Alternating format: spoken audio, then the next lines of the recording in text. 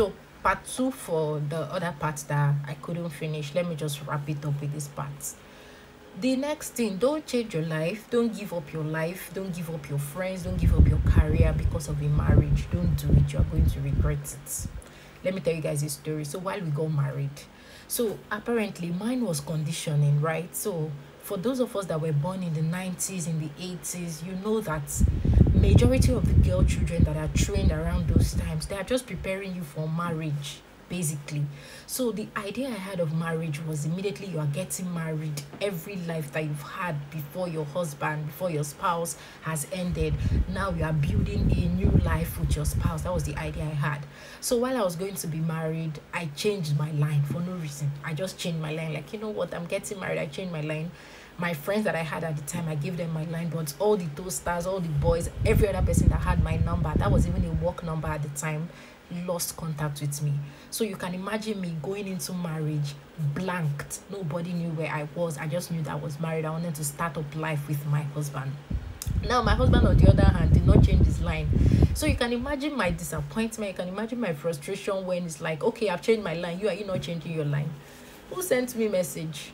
Nobody sent me message and he didn't owe me that. So my husband was still keeping up with his friends you know from before we got married. And this thing was really paining me like what's happening? Me i've changed my life. Why have you not changed your line it's conditioning. I had to unlearn. I had to relearn it. And now i'm telling you please don't change your life. Don't change your line don't give up your career. Don't lose your friends because you are getting married.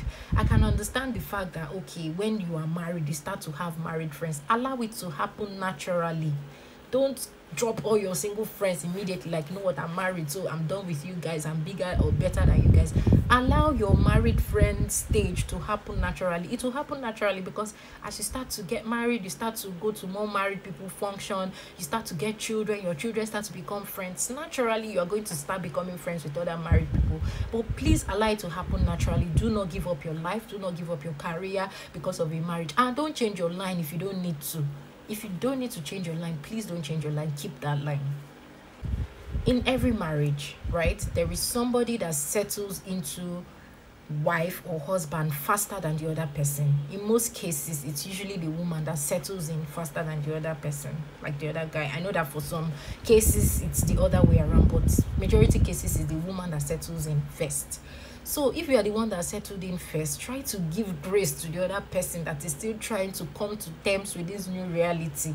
Like, okay, I'm just getting married. Because for the most part, the other person that's not settled in will still want to be bringing some single life inside the thing you know not being accountable not calling you not telling you where they are because they are just so used to being you know single or not being coupled with somebody. So you are going to give the other person grace. So this point i'm saying try to give your spouse grace you are not when you say oh i'm tolerating so much from this person i'm tolerating remember that that person is tolerating so much from you too. It's not everything that you do that that person likes but you are still together anyway. So that person you as you are tolerating from that person that person is tolerating from you too. So don't be thinking that you walk you are like uh, you are you are without blame. Don't be thinking like oh my husband my husband my wife my wife behave like this. When you are saying my husband my husband look inwards too and know that there are some things about you that your husband or your wife wife is tolerating. So learn to give one another grace. Eventually the other person that's not settled in will come and meet you in the marriage. So learn to give one another grace. The next point i'm going to give is that don't focus on superficial things. Superficial things are things that can change. Please don't focus on superficial things. I have a spec my spec is tall dark and handsome. It is good to have a spec but if you have somebody that ticks all your boxes and they are not your spec you are better off with that person than your spec that doesn't tick all your boxes. I don't know if you understand what i'm saying. So while it is good to have a spec be an be open-minded. Keep your options open in case the someone else that will treat you better is not your spec. You are better off there my sister. And some people grow in love. Some people grow in marriage. Some people learn to love their spouses it is actually better like that that to be treated bad by somebody that is your spec just because you want to look good on instagram you want to be the perfect couple picture perfect couple i don't like fat people i don't like fat people you married a slim woman that's that this thing can change tomorrow she gives birth to children she puts on weight what are you going to do will you throw her away husband must be tall, dark, and handsome. Good and fine. You married him tall, dark, and handsome. Two months into marriage, he has an accident and they amputate his leg. What will you do? If that is your if that is the crux of why you are getting married to that person then it is better you don't because these things can change I know this person does not have any money, he doesn't have any money. That can change tomorrow. Someone that has so much money too can become a pauper tomorrow. So life, don't focus on superficial things. You need to look for something you hold on to and say, This is the reason I'm marrying this person. Let it not be because they are tall.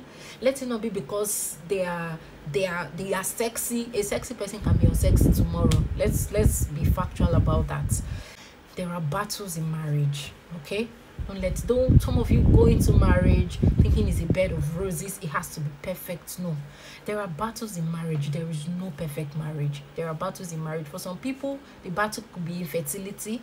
For other people the battle could be immediately they got married husband lost job or wife lost job.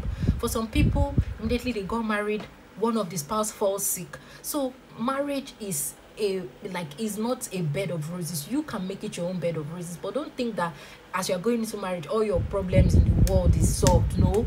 For in fact for any reason the devil likes to attack the institution of marriage. So there are going to be issues there are going to be battles. So you need to stick together as a team to fight these battles together because believe me you don't know what you are capable of until you are faced with certain situations. Hmm? you are saying oh this person you didn't used to behave like this. You don't know what you are capable of until you are faced with certain situations. The last thing and i'm going to leave you with this is that people change. Yes people change. I have seen bad people become good people and i have seen good people become bad people so if your spouse is trying, if your spouse is willing to learn, your spouse is trying. Change is not a one day thing, you know, it happens gradually. So don't think that if you talk about something today, like, oh, let's change this, I don't like the way you're behaving, don't think that by tomorrow your spouse will not make that mistake again. They will definitely make that mistake. But constant reminder be telling them be telling them. One day it will stick. Because don't forget that this thing that you are trying to correct your spouse has been doing it all their life. So you cannot just come and be letting them unlearn and relearn that thing in a short period of time. So allow for time for change. People can change. Bad people can become good and good people can become bad. Make of that what you will. So that is the end of this whole marriage series. Thank you for watching and goodbye